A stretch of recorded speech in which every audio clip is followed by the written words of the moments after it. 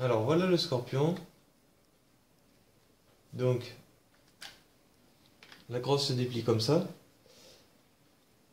Donc au départ la crosse est droite. Je l'ai tordue ici pour que qu'on puisse aligner euh, la hausse et le guidon avec l'épaule plus basse, c'est plus pratique.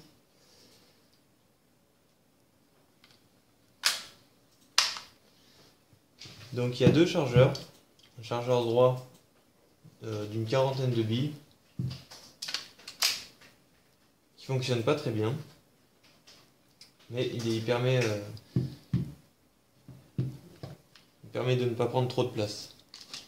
Le second chargeur, environ 300 billes, est beaucoup plus intéressant, même s'il prend beaucoup plus de place. Permet de tirer en full auto pendant un bon moment permet aussi de rivaliser avec les AEG.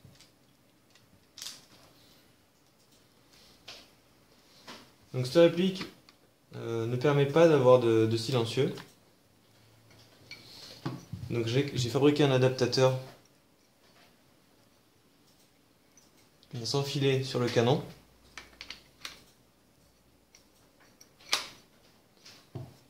qui permet de mettre n'importe quel silencieux.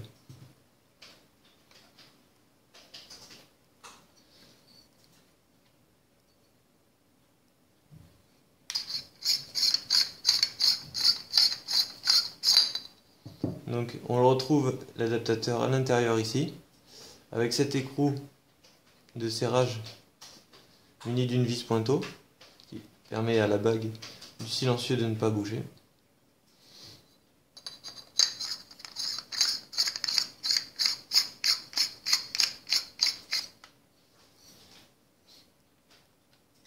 Cette forme hexagonale permet de replier la crosse. Voilà.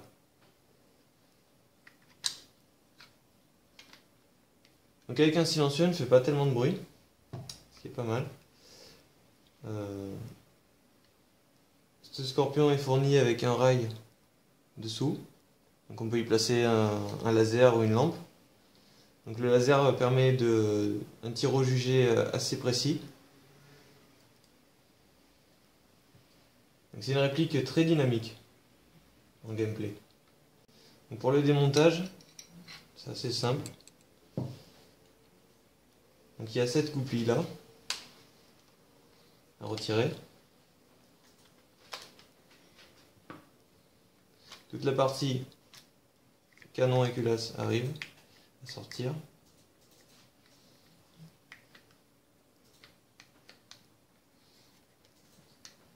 Donc là il y a les câbles électriques, voilà. Donc ici on a le canon avec le ressort.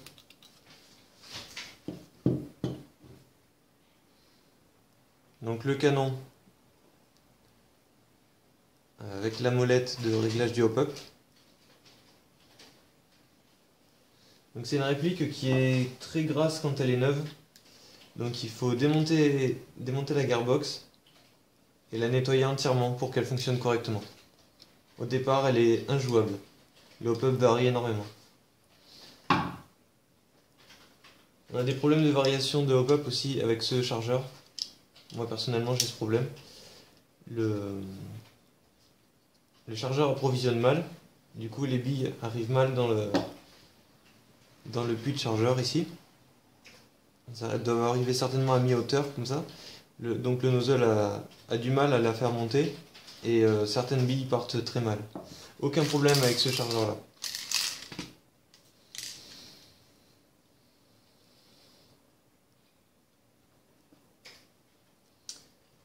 Donc pour la partie de la gearbox,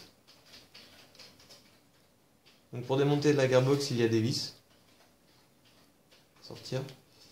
Donc euh, la batterie se trouve là.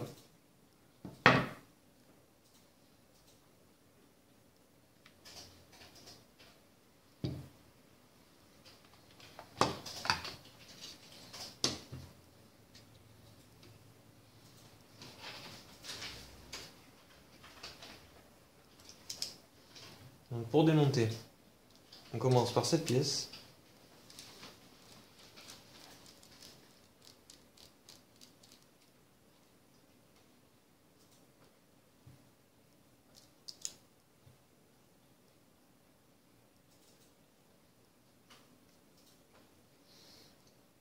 Voilà. Donc là, la gearbox est un peu plus libre.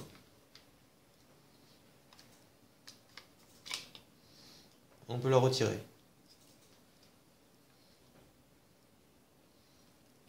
Donc ici à l'intérieur nous avons le, mécanisme de détente et le réglage semi et full auto grâce à cette pièce là qui se met dans la crémaillère.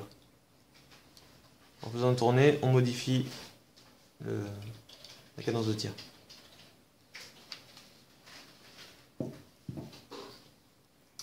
Donc la gearbox, ça c'est de fil électrique d'alimentation du moteur. La gearbox est très huilée, il y a beaucoup d'huile à l'intérieur quand elle est neuve. Du coup l'huile est vaporisée dans le canon régulièrement et le tir est vraiment de mauvaise qualité. Donc pour améliorer la qualité du tir, il faut démonter la gearbox. Sinon c'est vraiment une réplique excellente, donc ça, peut rivaliser facilement avec un AEG, bon à courte portée évidemment, comme en CQB, en CQB c'est vraiment, vraiment efficace. Et euh, ce chargeur tambour euh, est, vraiment top, donc 300 billes, même peut-être plus certainement, avec euh, son voltage rapide, c'est un chargeur très très efficace. Pour un pistolet mitrailleur en tout cas c'est vraiment bien. Bon il est assez encombrant du fait qu'il soit large. Mais euh, sinon il est vraiment efficace comparé au chargeur droit qui lui est assez compact. Lui est compact, compact et esthétique. Mais euh, vraiment 30 billes dans le chargeur c'est pas suffisant. Et, euh, et en plus il a pas mal de problèmes de misfeed. Donc ce chargeur, excellent, rien à dire. Donc la batterie, c'est une batterie 500 mAh, 7 v 2. Elle se recharge avec un chargeur euh, fourni avec. Mais bon, je conseille de charger quand même ces batteries avec des chargeurs intelligents. Des chargeurs qui permettent de stopper euh, la charge automatiquement et à la bonne tension. Donc voilà, donc a, vraiment bien fait cette réplique. Pour les pièces en métal, il euh, n'y a pas grand chose finalement. Euh, plastique, plastique, plastique, plastique, plastique, métal, métal, euh, métal, ici un peu de métal, mais vraiment pas grand chose. C'est une réplique assez légère et vraiment très maniable. pour le, le combat courte portée, c'est une réplique idéale. Vraiment très très bien joué. Donc on peut l'utiliser en réplique principale ou réplique secondaire, ça dépend. Alors j'ai remarqué qu'on pouvait la, placer dans un holster, euh, un holster en tissu. Donc on vient l'enfiler dans le holster comme ça. Et après on vient, on vient accrocher la sangle ici derrière. Donc moi je la mets, je la mets sur le torse avec ou sans le silencieux. Donc le silencieux peut gêner, mais euh, sans silencieux, elle ne gêne pas du tout. Donc en plein milieu du torse, comme ça, juste un scratch, c'est vraiment facile à sortir et, efficace. Donc c'est une réplique qui vaut environ 65 euros, minimum évidemment. Et niveau rapport qualité-prix, elle est vraiment, vraiment excellente. Le seul problème, c'est qu'au départ, euh, où elle remplit cette réplique d'huile. Donc du coup les tirs sont catastrophiques en sortie de boîte. Donc je conseille euh, après, après l'achat de la démonter entièrement et, de la nettoyer à 100%. Et, de refaire des glaçages propres. Voilà. Donc euh, franchement une bonne réplique. Euh, je la recommande.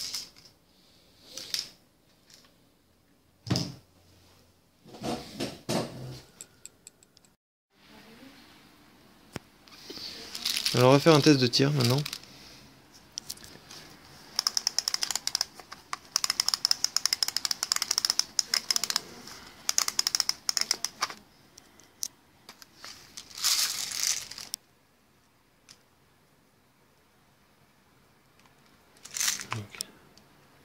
Semi-auto.